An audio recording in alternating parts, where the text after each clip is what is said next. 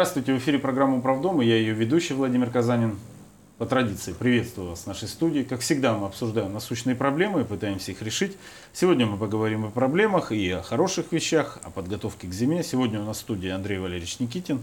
Добрый день. Здравствуйте, да, депутат городского совета, эксперт нашей программы, вот, и человек, который постоянно присутствует у нас, помогает в решении многих проблем. Давайте посмотрим первый материал и начнем обсуждение. Подготовка к зиме дома обслуживаемого управляющей компанией «Московка». Новый дом, новый блок. Однако работы проходят в штатном режиме. Стоят автоматы, тут нет сопол, не надо ничего менять, что они сами настраиваются от температуры окружающего воздуха.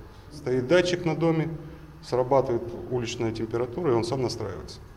То есть, а что здесь меняли при подготовке к зиме? При подготовке фильтра промывались, красивики, замена затворов, Лежат, кстати, которые менялись, которые не прошли опрессовку. То есть все это все равно приходится Да, менять? да, да. Даже на новых домах? Ну, сравнительно новым уже третий. Просто знаете, как иногда жители ну, новых домов говорят, ну а что там готовить, что там менять, зачем? Это кажется так, а тут Да? все обычно. Одних фильтров он разобрать, То промыть. есть качество воды все равно оставляет желать лучше. Да. Но все-таки при подготовке к зимнему отопительному сезону приходится решать массу проблем. По участку у нас э, четыре участка в нашей организации.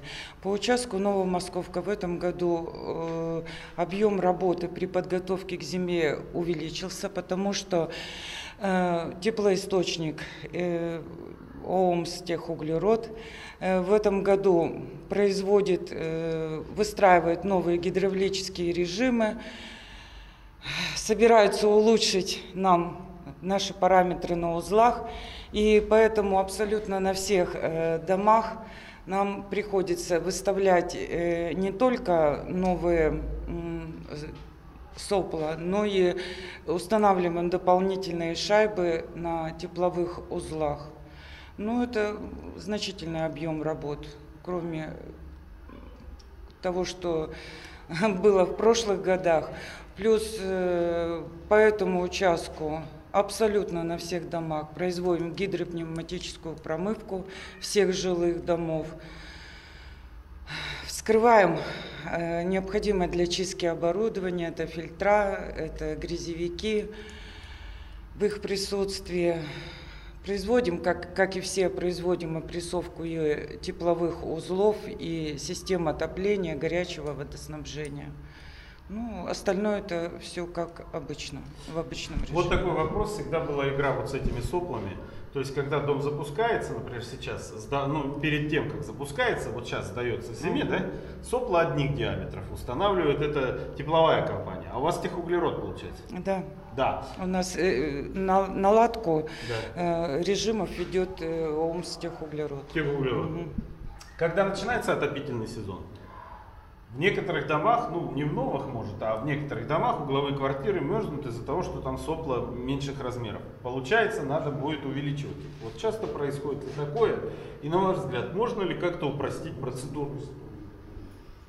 Хм, Вопрос, конечно, очень интересный. Э, По вот, так, вот этот вопрос, который вы задали, он очень, как сказать, больной для нас именно по жилым домам от э, теплоисточников ТЭЦ. ТГК-1, ой, сейчас они не ТГК-11, Омск РТС. Э, Потому что э, каждое, каждое лето, несмотря на то, что прошлый отопительный сезон мы заканчиваем с одним диаметром сопла, э, летом выставляются расчетные сопла, а потом они уже осенью, а иногда это бывает в ноябре-декабре, корректируются, но не сразу.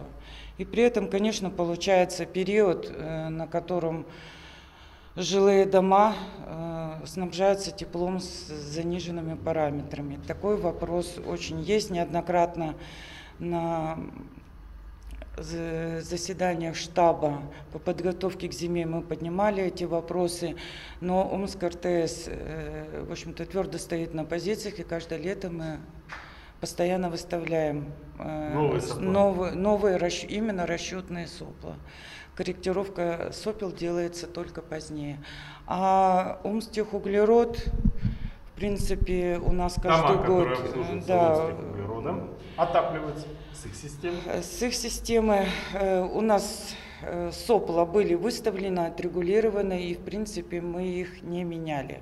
То есть как выстроен был гидравлический режим, и с этим гидравлическим режимом мы работали. Что намного удобнее.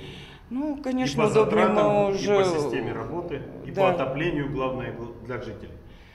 Да, потому что мы уже проще, меньше работы и ну, проще это и для жильцов спокойнее. Андрей Валерьевич, ну в целом у вас сколько уже домов подготовлено к зиме? Ну, на сегодняшний момент в компании уже подготовлен практически 85%. Это как бы называемый предъявленный первый этап. И процентов 30 уже получены акты готовности тепловых узлов.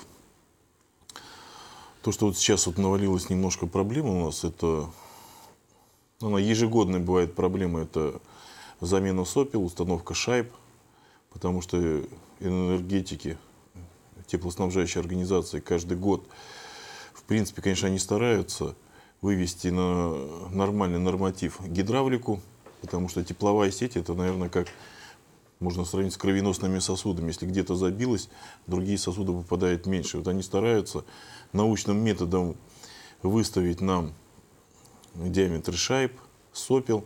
Конечно, это колоссальная работа. А уже по факту сентябрь, октябрь, смотря как, когда начнется отопительный сезон, уже принимаются те диаметры, которые фактически от температуры, от того, что сеть выстроилась как на этот год. Потому что каждый год есть изменения. Где-то поменяли трубопровод, где-то дома добавились. Вот это надо понимать, потому что вроде как она бестолковая работа, но в то же время есть научное какое-то обоснование. Тепловики все-таки справедливо спрашивают. Уже второй вариант – это одно то, что мы сделали. Вторая часть – то, что э, наши собственники все-таки никто не смотрит на технический регламент, э, меняет батареи, это опять-таки количество теплоносителей на доме меняется. Где-то есть прибор учета, где-то нет, а перепады, где-то системы забиты, есть предписания, мы собственники не успеваем это выполнять по замене, допустим, внутридомовой системы. Все это сказывается, конечно. И вот эта рутинная работа, она каждый год, каждый год сказывается и на подготовке текущего ремонта, потому что это все равно это финансовые средства. Ну и на время, и на загрузку нашей работы. Андрей Валерьевич, ну я как понимаю, мы сразу перешли к этому вопросу, который я и хотел задать, про эти самые сопла. То есть э, при подготовке к зиме ставится так называемое расчетное сопло. Да, каждый дом имеет определенные ограничения Да. по потоку То есть теплоносителя. именно э, сопло это вот, э, как скажем, задвижка такая, которая э, регулирует подачу к тепловому блоку. Это не задвижка, это как вам сказать, вот, есть японский момент, Ну, монеты, способность. иена с дырочкой. Да, такой. да. Да, вот они Вот. что шайбы, что сопла. Вот. Э, У нас э, всегда рядом, я вот когда я сам спускался и сам допрашивал э, старшего этого слесаря, как старший по дому, спускался, допрашивал. Я говорю, вот, а почему прошлогоднее сопло вот лежит рядом? Почему не его ставим? А потому что расчетное, вот оно меньше, то-то, то-то, и тепловики не принимают дом, если не поставить расчетное сопло старое меньше. А вот если уже будут не, при- не принимать дом зиме, а если уже будут жители, особенно угловых квартир, а, угловые стояки мерзнуть, тогда мы добавляем, сопла эти увеличиваются, и тогда уже приходит дом в норматив. Я спросил, а почему нельзя сразу так сделать? Ну, он, в принципе, сказал, что, в принципе-то можно, но он слесарь. Но нельзя. Ну, я вот еще раз повторю, есть технический регламент, потому что каждая котельная, она производит э, гидравлический и тепловой расчет сети от э, тех диаметров, которые есть, от того давления, которое оно выходит. Потому что как бы и головные диаметры где-то меняются, где-то дома добавляются, теплоноситель все-таки его становится или больше, или меньше. И вот это все корректируется. Корректировки эти происходят даже, я вам скажу, и в течение всего года. Ну, вернее, отопительного периода. Потому что если есть еще такой момент, как э, перегрев, это тоже говорит о том, что надо уменьшить этот диаметр поступающего теплоносителя, вернее, через шайбу или через сопло. Эти вещи как бы регулируются. По идее, есть два подхода. Да? Вот то, что первоначально идет э, момент на экономию теплоснабжающим организациям, они выставляют расчетный момент, и потом уже от обратного начинают от жалоб корректировать. По идее, конечно, для людей бы было бы интереснее оставить то, что было Конечно. отрегулировано. Если пошли перегревы, тогда уже вот эти отдельные дома менять. Ну, по факту, есть вот эти два технических регламента. Я их тоже прекрасно понимаю. Они настроены на экономию, потому что это в конечном итоге на тариф должно идти. Такая ступень уходящая, ну, не в Москву, наверное, а в министерство вот эти какие-то образовательные, энергетический комплекс. Ну, в общем, я так понимаю, это экономия за счет, в определенной степени за счет жителей. Так я понимаю, за счет их здоровья. Не за счет финансового, а за счет их здоровья. Понимаете, здесь, если бы он э, регламент, регламентный момент по даче теплоресурса бы работал, если бы и системы были стопроцентные, как расчетные. Ну, Да, чистая система на доме. Сейчас они заставляют нас, гидропневматическая промывка, вот последние три года усиленно. Грязь выходит, но это износ самих труб на домах увеличивается. очень серьезно. Тоже такие моменты. Приводят к каким-то вещам, смотрят. Тяжело э, с подвала одного дома разговаривать о всей системе от целой котельной, на которой там порядка, та же ТЭЦ-2, практически полгорода на ней висит. Вы представляете, как надо рассчитать все так, чтобы на каждом доме все хватило. Потому что, чтобы не закольцевался один дом, на этот хватил, на этот. Система тяжелая. Тем но более работает. у нас точная застройка, новые дома вводят, практически строят во дворе старых. Да. Мощность одна рассчитана. а. И пошла и вот этот А, кстати, не согласовывают тепловики, когда строят вот э, планы по строительству домов? моменты всякие есть. Бывает согласовывают, Я не знаю эту систему. ну, допустим, Они нас... согласовывают только по, только по оплате. Нет, нет, у нас, допустим, момент такой был, вот, строились два дома на концевых лучах, это на Московке Гашка-17, Гашка-19, и я знаю, что строитель компенсировал затраты на переоборудование теплонасосной станции, которая находится на шестой станционной, там порядка где-то миллиона рублей. Это было вложено в замену оборудования, чтобы поднять давление на хвостах. Поэтому, кажется, работы вроде мало, но она идет. Любой дом, посаженный на сетях, он требует всей корректировки всей сети. Потому что все надо отрегулировать, а регулируется вот, даже если, как сказать вам, если труба подходит, допустим, диаметр 80, то на дом с оплом может стоять всего порядка где-то сантиметра, а то и 0,8 миллиметра, которое добавляет в теплоноситель. Андрей Валерьевич, у вас две, вот ваш жилой массив снабжают базово две котельные, да? Да нет, нас сейчас больше нас снабжают техуглерод, тепловая компания, ТЭЦ-2, еще и сейчас еще Нет, ну вот по, по большому счету. вот, основные да, РТС и техуглерод, да? Вот почему, компания. вот почему техуглерод при проведении подготовки к зиме не требует изменения сопла? Он не требует, потому что у нас там дома на другой системе подачи с узлами, и там сопла у нас стоят. А здесь мы шайбами вынуждены регулировать, потому что старая система подачи. То есть э, это не, не то, что прихоть там РТС они Нет, заставляют. это технологически. Технологически, да? То есть небольшие тонкости имеются. Там все узлы у нас с бойлерами совсем, а здесь система подачи идет э, открытый водоразбор. Там в основном закрытый, здесь открытый. Я просто Город смотрел Омск. статистику, у вас э, жалоб по теплу вот именно в этот осенний период больше на РТС, чем на этот самый Техуглерод. техуглерод, да. Ну, во-первых, у тех углерода сети намного короче, там им проще. Здесь-то от ТЭЦ-2, вот представляете, как далеко заходит. Это проспект Карла Маркса, улица Серова, а ТЭЦ-2 у нас стоит аж по десятилетию. По десятилетию, да. Они переключаются потом на ТЭЦ-5, есть моменты, когда, но сети все равно нагрузку несут. Здесь лучи концевые, дома старые не хватает, особенно серовские дома.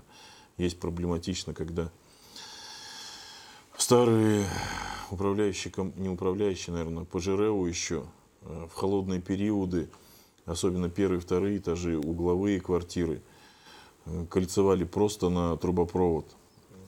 Работает э, одна квартира, а весь стояк мерзнет. Вот Ну тогда все проблемы- было общее.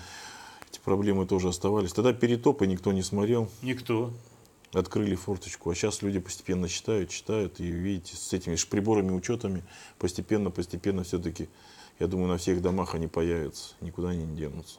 То есть всем придется это Ну, делать. с повышением тарифа, мне кажется, даже и те же двухэтажки, которые до 0,2 гигакалорий, где сейчас даже в принципе не рассматривают установку приборов учета, я думаю, в конце концов Придется. будет выгодно и там ставить. Выгодно, выгодно по экономии или выгодно по... Ну, если дома постепенно утеплят двухэтажные, то выгодно будет ставить на прибор учета. Потому что теплоноситель все равно он дорожает. При всей системе, которая в городе проведена, перевод всех котельных на газ, это тепловая компания, они смогли только стабилизировать, чтобы не выше какой-то инфляции выросла оплата жителей по теплу. То есть все равно ограничено. Все равно растет потихонечку. У нас прозвучала, ну это немножко отрешенная тематика, но тем не менее, у нас прозвучала информация, что в Москве арестованы даже э, руководители э, этой по установке тарифов структуры нашей. РЭКа. РЭКа, да. А, За как раз по установке тарифов на тепло. Ну, здесь, честно сказать, пропустил, почему-то не могу. Вы как депутаты вообще анализировали вот тарифы на тепло у нас и в других регионах соседних?